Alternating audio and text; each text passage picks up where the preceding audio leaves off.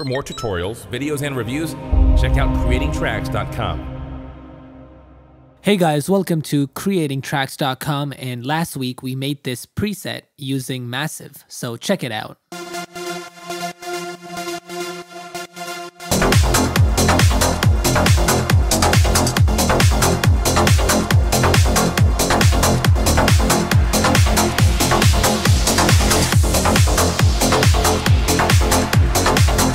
Okay, and this time we're going to use some effects to make this blend in a lot better with our beat. So let's go ahead and solo this. And inside of this, I'm going to go ahead, double click on these notes, and let's select these bottom uh, half, second half of these notes and copy and paste them. So edit, copy, edit, paste, or Command C, Command V, and use the up arrow to move it up seven half steps. So that's going to be over here and check it out.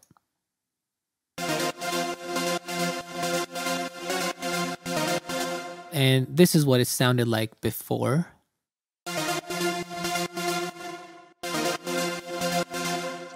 All right, now we're going to use some of our audio effects from Ableton, but before that, this is what it sounds like with the beat.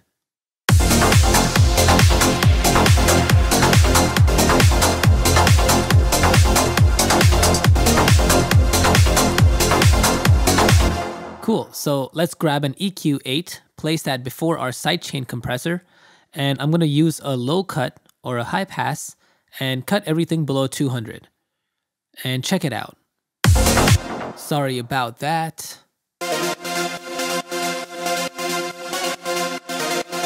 And also turn on the high cut or low pass and bring it to 15,000 hertz.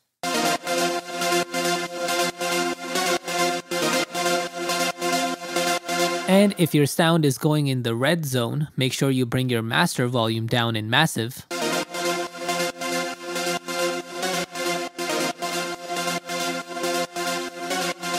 Alright, so now let's go ahead in our effects, audio effects, in the audio effect rack and go to performance and DJ.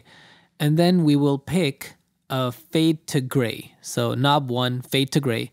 And you can see it comes with this one knob and this is what this knob does.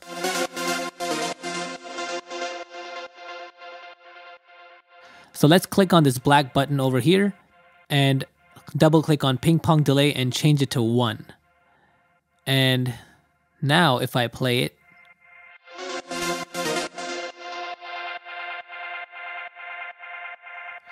So we'll change this ping pong value to 1. And what happens is every time we take this all the way up, our overall volume is also decreasing.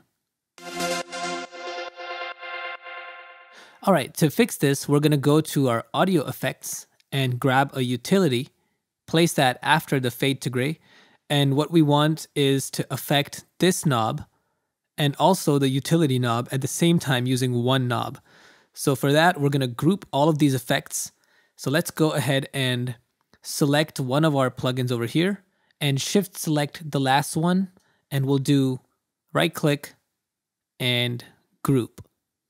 So now everything is inside of this instrument rack. So on the left, we have this instrument rack. Let's click on these two black buttons and open those up. So we have our macro over here and we want to map our fade to gray and our utility knob to this macro. So let's right click on the fade knob and map to macro 1, and then right click on this gain knob and map to macro 1, which is now called fade.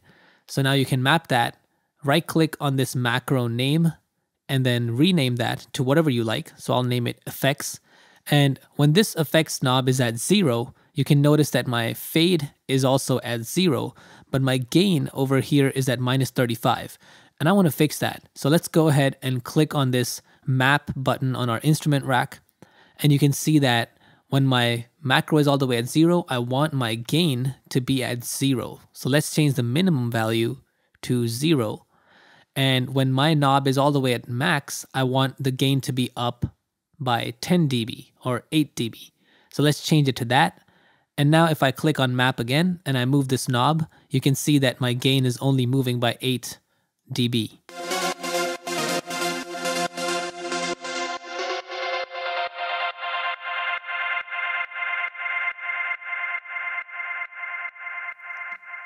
All right, so that is very cool. And another thing you can do is blend this in with your lead much better. So right now, if I play all of this together, you're gonna notice that it sounds pretty crowded.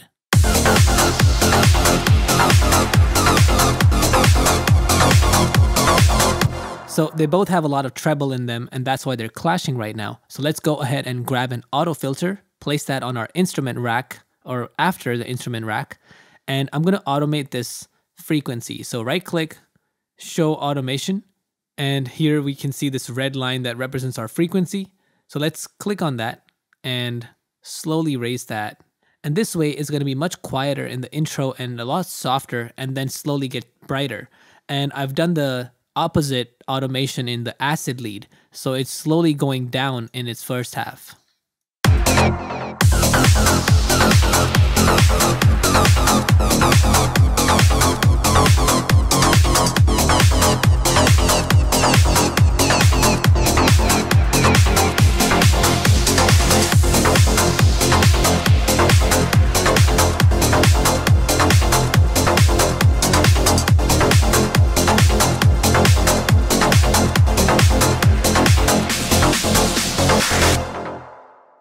And another thing you can do to make this sound a lot more blended in is add a simple delay and place that before the compressor.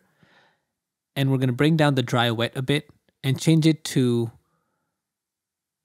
3 and 4.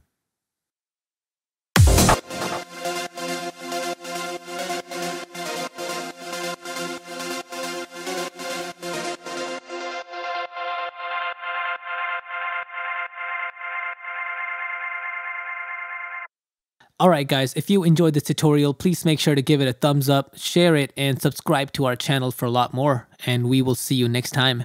Peace.